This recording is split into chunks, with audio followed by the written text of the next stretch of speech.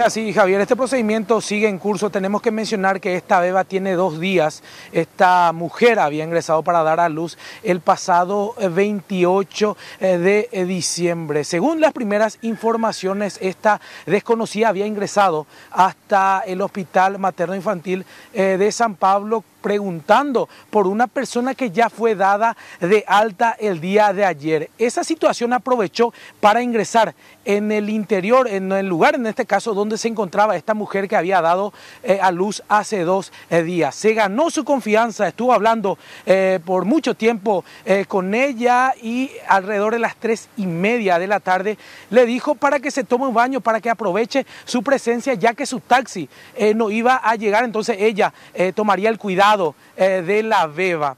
La mujer tomó esa confianza y fue hasta el baño a ducharse.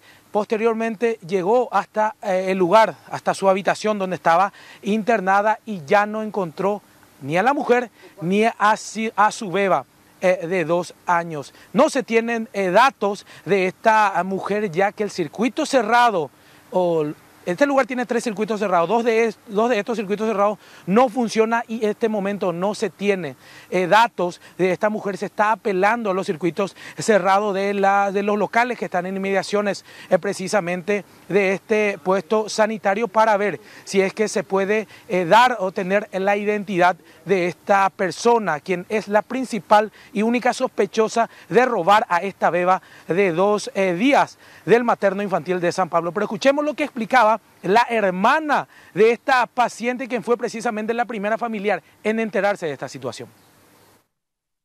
Según mi hermana, entró una señora que preguntó por un familiar que estaba ahí adentro.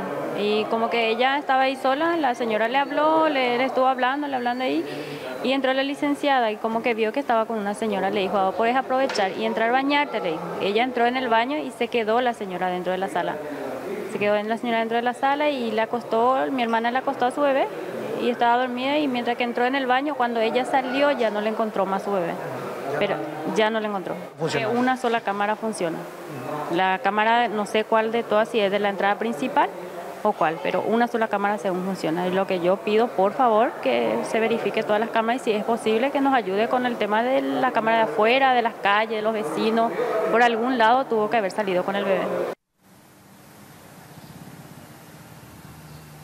María Celaya, esta mujer quien dio a luz a su tercer hijo y finalmente eh, la robaron, en estos momentos se encuentra en el departamento eh, de eh, identificación de la Policía Nacional para dar el identikit de esta mujer quien había ingresado en su habitación y se llevó su beba de dos días. Posteriormente esta mujer va a ser devuelta hasta este lugar ya que la misma no está dada de alta. Fue, le permitieron que se vaya hasta el departamento de investigación con autorización del personal médico de este lugar, pero ella seguirá aguardando, eh, en este caso internada en este eh, lugar hasta como mínimo el día de mañana. Estuvimos también hablando con ella, ella se, en este caso se le notaba bastante golpeada por esta situación. Lo único que ella mencionaba es que no conocía quién era esta mujer, pero que sí, efectivamente estuvo hablando con ella alrededor de cuatro horas. Estamos aguardando por la llegada nuevamente de esta mujer, quien acaba de perder, de tener datos